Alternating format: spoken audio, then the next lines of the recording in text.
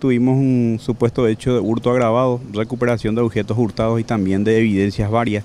dinero en efectivo. Este hecho ocurrió el día de ayer a las 17.30 horas en el barrio Santa Lucía de la ciudad de San Alfredo, consistente en la suma de 3 millones de guaraníes, dos armas de fuego, asimismo eh, billutería varios. resultaron víctimas Gregorio Maidana Chávez, paraguayo casado de 72 años, y Ana de Jesús Noguera de Maidana de 51 años, siendo supuestos autores de este hecho Rubén Noguera Casanova, paraguayo soltero de 21 años, sobrino de la víctima, con antecedentes por violación de la patria potestad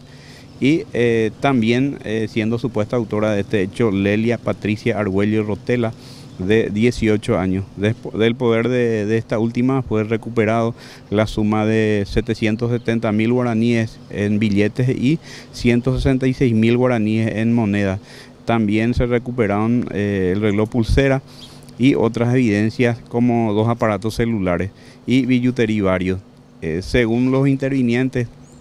a raíz de la denuncia formulada por la víctima, quien manifestó que se ausentó en su domicilio, eh, momento en que el sobrino aprovechó para ingresar en la vivienda y apoderarse de los objetos.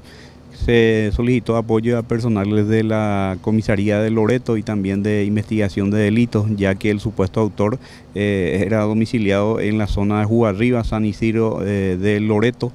A raíz de eso se logró ubicar a esta persona